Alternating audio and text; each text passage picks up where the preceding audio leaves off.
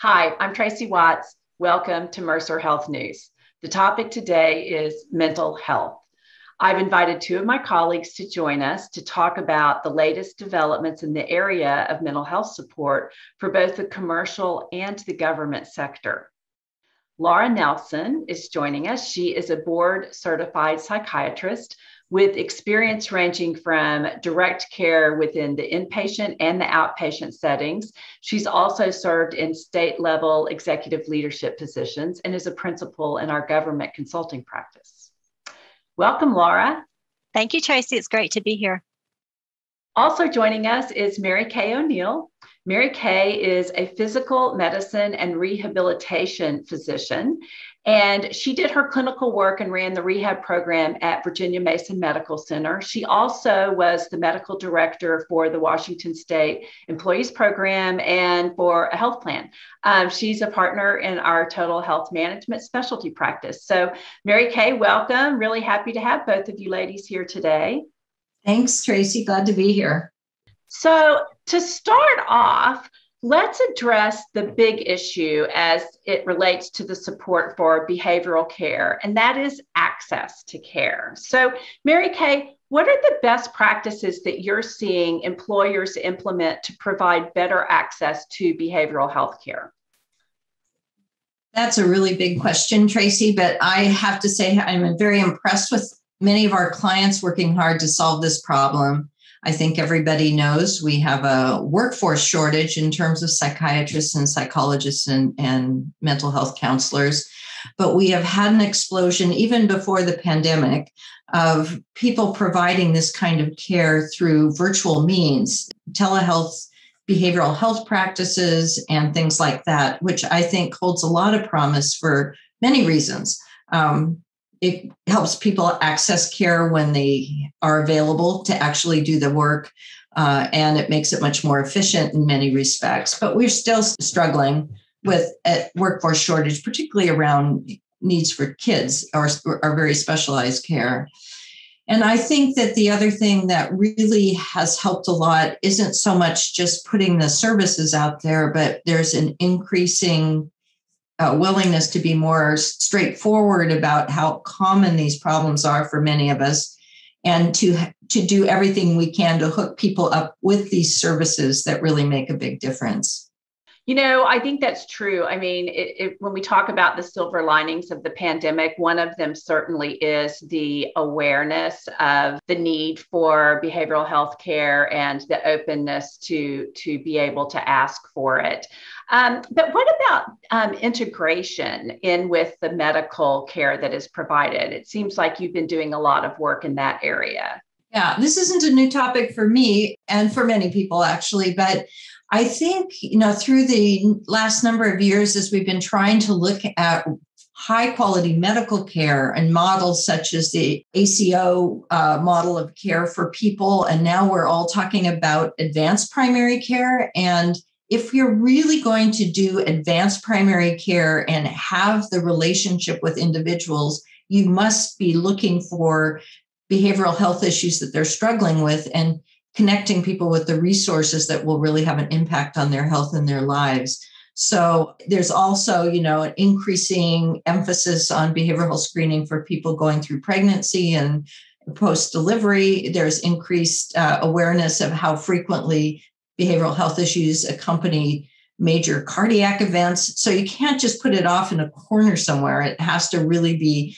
you have to be screening for it just like you would high blood pressure or whatever else because that is what's up. And i and one of the downsides of the pandemic is that we're at about 40 50% of our population has some identifiable behavioral health condition right now. So it's totally normal totally normal but we need to help people understand what's happening to them understand what their way forward is and and make it clear that there really is help to to make things better yeah, and having that primary care physician immediately make that contact, not just here's a phone number, call and see when you can get in, but just making it happen right then.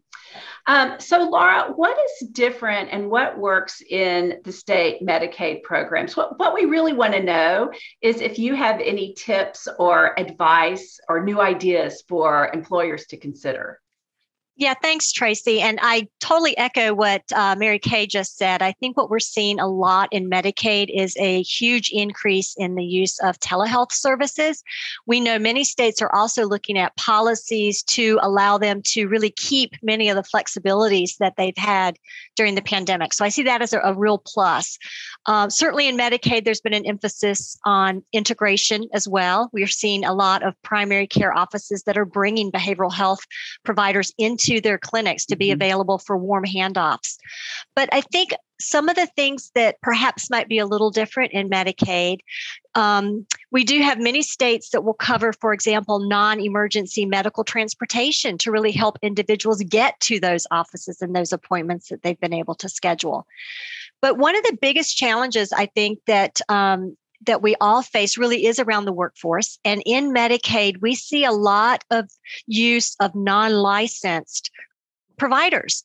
And we have um, licensed and accredited behavioral health agencies that will staff up with maybe master's level clinicians or uh, certified peer support specialists or certified chemical dependency counselors and all of those types of staff really serve as staff extenders, if you will, to the typical traditional psychiatrists and psychologists that are often the go to when it comes to behavioral health services.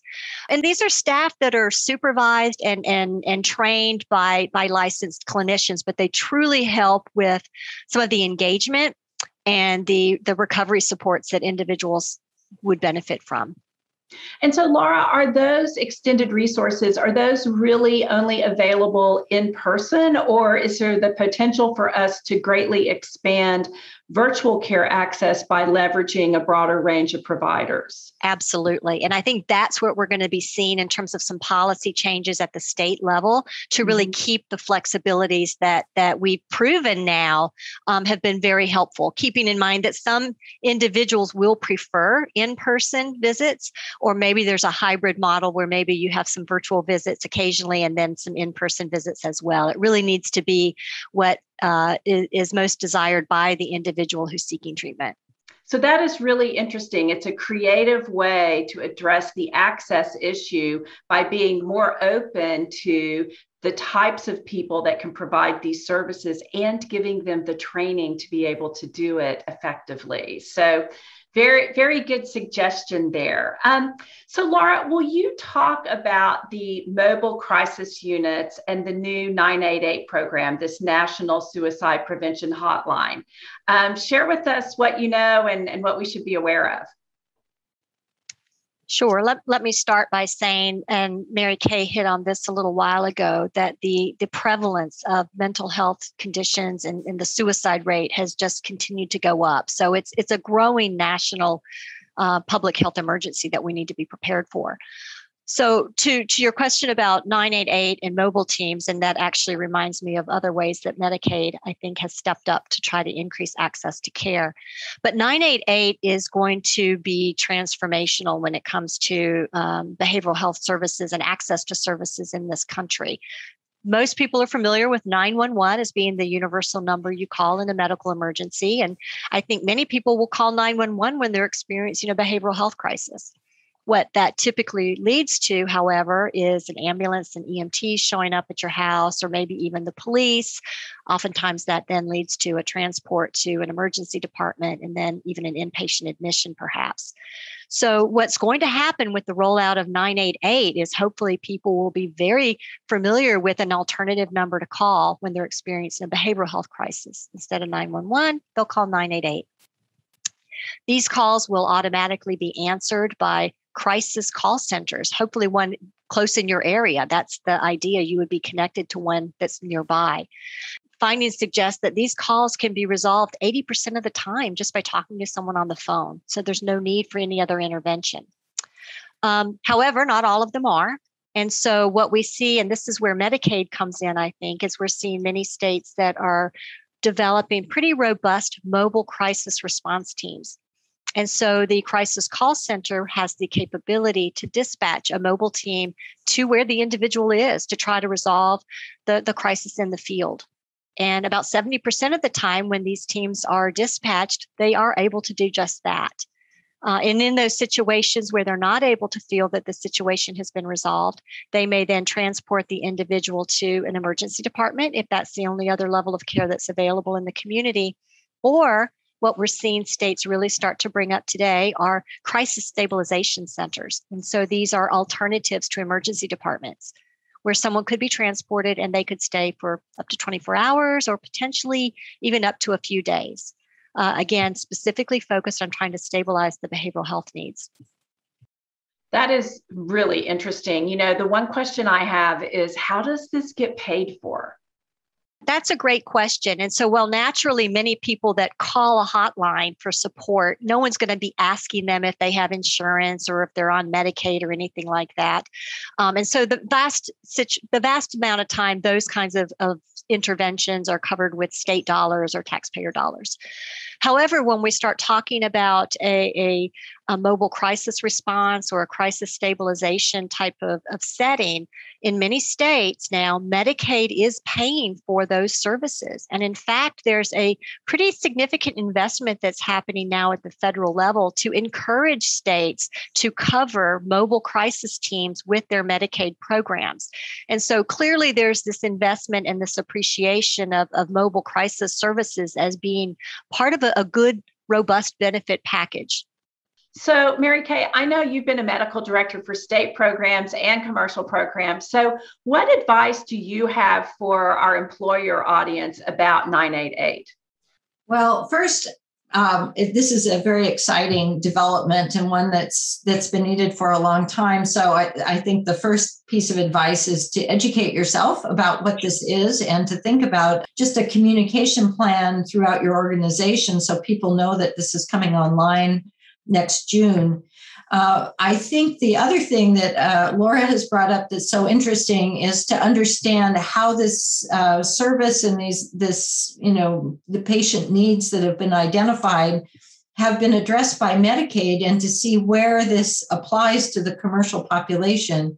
I have been a medical director looking at lots and lots of claims data on the commercial side, and most 911 calls themselves don't you know translate into a bill to the individual or the employer those services are a public good that is covered by tax dollars. But of course if somebody is then transported into a setting where clinical care is delivered this may very well hit the claims. So i think that we all need to be talking to our carriers about how these crisis stabilization centers may be looked upon as an in-network behavioral health facility and so we're ready to go with that because we don't want to surprise people you know with billing that we don't anticipate or as laura was talking about earlier if it's a kind of facility that that plans aren't used to even thinking about they need to approach it as how they would bring somebody in network. So i, I think those are a couple of the issues but i'm very excited that that this is in evolution and i think we're it's going to be of huge value and we're all going to continue to learn a lot more about behavioral health by having this system in place Okay, well, certainly awareness of 988 is a really good first step to mm-hmm. figuring out um, what to do next. So, um, you know, I'd like to switch gears and talk about quality as it relates to behavioral health. Um, we certainly have covered the access issues, and those are still pretty big. We are um, embarking on access to transparency data as it relates to the cost of various types of care. And so it just seems only natural to think about what do we know about the quality of behavioral health care. So, Mary Kay, for employer sponsored coverage, how is quality measured or how should it be measured for this type of care? Oh, that is a fabulous question. So, I think that you know our evolution about how we provide these services and we've sort of kept it over to the side and we've had shortages of providers and networks so we're just like oh, please join our network that we have been very late to the quality game on behavioral health um, it's also you know there's not the standards that we sort of have in medicine about what quality looks like or how it's tracked um, a lot of the quality in, in behavioral health has to do with the engagement between the, the provider and the, the patient, much more than like which school of therapy they're following and whatnot. So there are emerging ways that um, this kind of quality can be evaluated, but I don't think any of them are mainstream yet. I know, for example, the department at University of Washington is looking at how to how to not only coach their people to be really good, but to oversee if they're really engaging with people and making a difference in their lives. Um, but for others, I think there are issues. You know, there's larger measures like if they're put on a medication, are they complying and sticking with it? Um, if they have been uh, hospitalized or put into a treatment center of some kind, you know how how supported are they in the early, um, really you know post discharge or recovery state, and are are they connected with services that keep them on the path to in, improving health and uh, the ability to participate, particularly in the commercial world with work and family and things like that. But um, so I think this is an emerging area, and I think people are so like, oh, just just we need more people that that they've been unfortunately not as rigorous, I think, as they could be. But I'd be delighted to hear what Laura thinks about this. Yeah. So, Laura, how do the state Medicaid programs monitor the quality of these services? Well, First of all, there are a lot of federal regulations that come along with Medicaid that states are bound to um, because the federal government does chip in part of the payment for, mm-hmm. for Medicaid services. It is very common for state agencies to include pretty significant performance measure expectations in their contracts with their health plans. Uh, as Mary Kay said, many times the, the performance measures that are being looked at are, are national measures. They're oftentimes more process oriented rather than outcome oriented. Mm-hmm. You know, are you following up after discharge from an inpatient hospital? But what we do see um, on the Medicaid side is they do try to put some some teeth into it. Oftentimes, if it's a capitated program, for example, managed care, the state may do a performance withhold and say, we're going to hold back this a little bit of your capitation until you show that you're able to reach this threshold in various performance measures, and then you would earn that back. They may even also go higher to say, you can also earn an incentive above that if you meet like a target goal where you really are able to push the performance even higher. Lastly, I would say that that states are really getting into value-based purchasing arrangements now with their providers. Mm-hmm. States are pushing their managed care plans to take that that um, risk-based arrangement down to the provider level, mm-hmm. uh, like they've done on the physical health side. I think with a little bit more ease. Definitely has been more of a challenge with behavioral health. Um, sometimes the providers are um, they're a little farther behind with maybe some of their electronic health records and their ability to track some of the data that's needed to go along with those arrangements. But we're starting to see some real movement there, and it's exciting. Wow, so some interesting developments there.